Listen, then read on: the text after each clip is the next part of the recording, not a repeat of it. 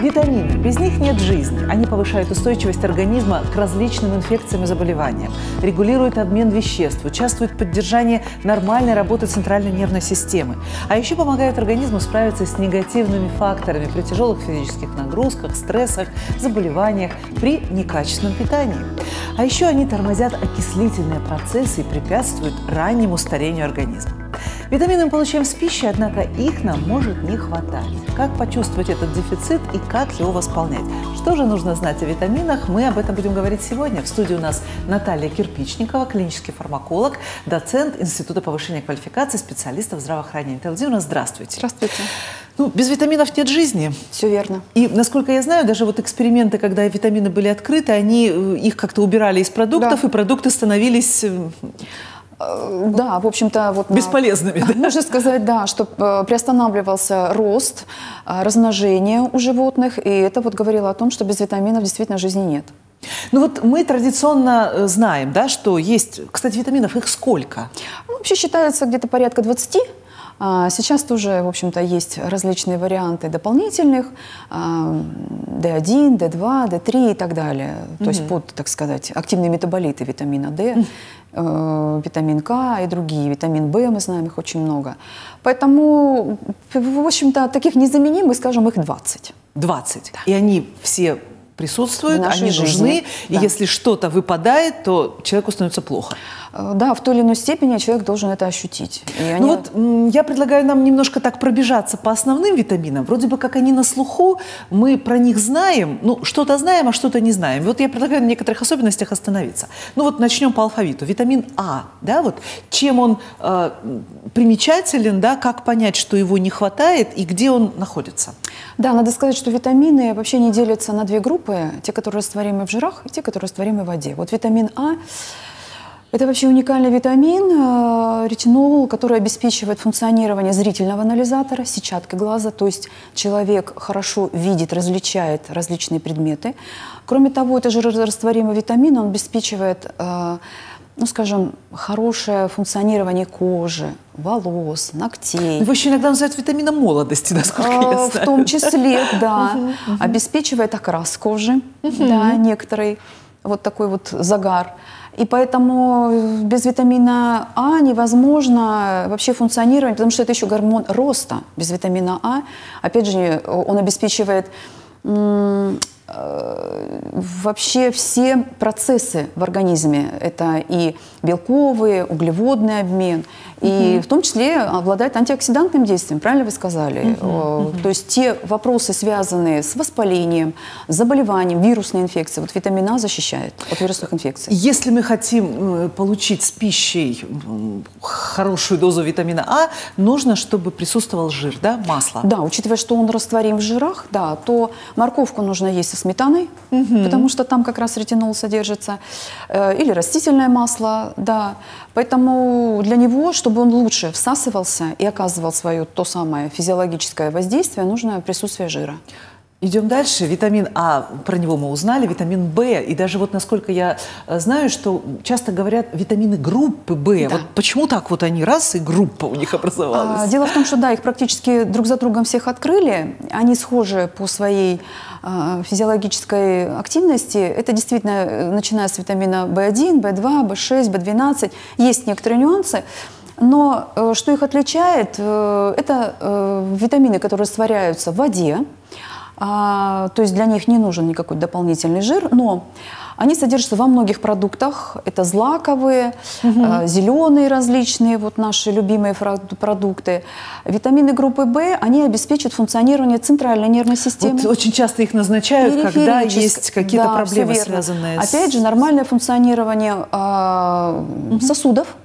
А, Кроме того, вот передача нервных импульсов, да, это вот как раз витамины группы В, многие. Но витамин В12, он несколько другой, он еще э, отвечает за функционирование системы кроветворения.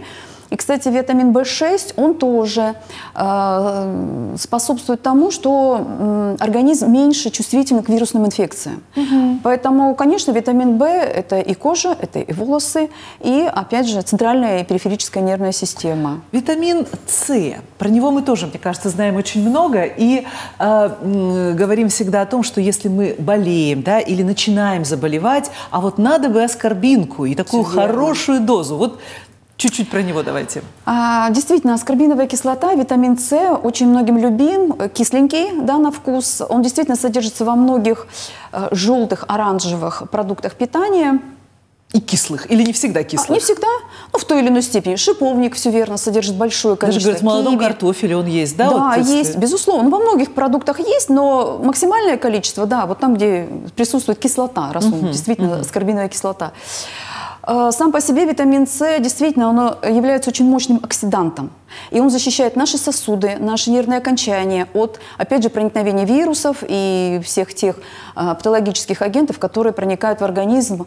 Он э, препятствует вот как раз ответной реакции такой мощной организма на холод, угу. на, э, значит, стресс.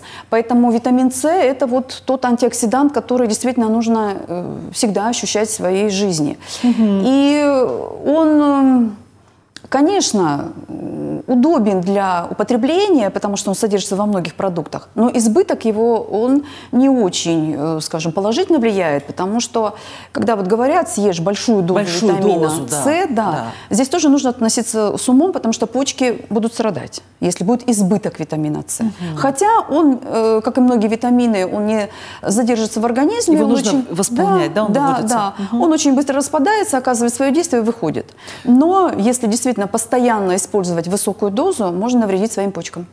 Осторожно. Ну, собственно, как и со всеми препаратами, конечно. со всеми веществами. Ну и, конечно же, о витамине D мы не можем не сказать. Вот ему вообще поют оды. И разные специалисты. Сначала как-то ревматологи про него э, говорили, что это просто чудесный витамин. Но, насколько я знаю, что все врачи, терапевты, эндокринологи говорят, что без него вот жизни вообще нет. Действительно ли это так? Что в нем волшебного? А, да, без витамина D мы помним, что это была проблема развития да, многих-многих ирохита. И в детском саду все помнили, что ели рыбий а, Сейчас также возвращаемся к этому. Профилактические дозы витамина D даются с самого рождения. Угу. Действительно незаменимый продукт. Для него характерно то, что вот два активных метаболита. Витамин D2 – это э, эргокальциферол и холикальциферол – это витамин D3 они как раз обеспечивают э, обмен кальция, фосфора в организме, то есть это наши кости, это наши суставы. Э, безусловно, это опять же кожа, он обеспечивает в те или иные варианты размножения клеток, ну именно гонат имеется в виду. Поэтому он, да, жирорастворимый, поэтому для его э, хорошего физиологического процесса необходимо определенное содержание жира. Угу. Ну, он и сам, в общем И вот он есть в рыбе, да, он как мы есть видим, практически яйце, тоже, да, во всех продуктах сливочном, жирных, да, да, да, да. Это жирная рыба, э, масло сливочное, да, Э, сыр, э, творог, ну там, конечно, его меньше, но почему и говорят, что нужно с витамином D есть кальций, uh-huh, чтобы вот как раз он лучше всего усваивался. Uh-huh, и, кстати, для усвоения витамина С нужен еще витамин, витамина D нужен витамин С. Вот они, вот тут да, пошли связи. Это вот, знаете, конечно, можно еще говорить прям отдельно еще про каждый витамин, но вот у нас уже так не так много времени на наш разговор, и, и наверное, то, что я не могу вас не спросить. Вот, Наталья Владимировна, вот есть комплексы витаминов, или нам нужно отдельно, э, отдельно витаминку А, витаминку В, B12, да, витаминку С и прочее. Или достаточно балансировать питание. Вот как разумно подходить? Вот пару советов. Можно ли получить от вас? А, во-первых, да. Если есть какая-то проблема, обратиться к врачу. И врач, конечно, всегда будет рекомендовать те или иные комплексы. Конечно, мы привыкли, что в основном для нормального функционирования организма достаточно полноценное питание со всем содержанием витаминов и микроэлементов, кстати. Но если имеется дефицит, то врач всегда назначит. Или же, опять же, вот когда возникает потребность высокая, это, ну, скажем, активное занятие спортом. Или после болезни, например. После да? болезни, угу. да. Ну, обычно врач здесь в любом случае наблюдает, он назначает комплекс витаминов. Поэтому действительно существуют уже фармацевтически разработанные комплексы. И поэтому, э, придя в аптеку, вы можете действительно приобрести любой комплекс вот тогда, когда из пищи не хватает витаминов. Угу, да? угу. А если их достаточно за, за счет сбалансированного питания, то этого будет и избыток. Все-таки вот э, к витаминным комплексам и к витаминам, которые у нас там в, в капсулах, в пилюлях, в, в таблетках, угу. да, в таблетированных формах, все-таки лучше относиться как к препаратам, Любым как, лекарственным как к лекарствам, как да, к веществам. И, и лучше все-таки, наверное, с врачом советоваться, Конечно. нужно или не нужно. Конечно. Да, лишнее это будет или И врач всегда необходимо. назначит э, анализ на содержание тех или иных витаминов. Да, в лаборатории это все можно э, выяснить, какого витамина не хватает по тем симптомам, на которые жалуется пациент. И тогда врач сбалансированно назначит тот или иной комплекс. У нас в студии была Наталья Кирпичникова, клинический фармаколог, доцент Института повышения квалификации специалистов здравоохранения.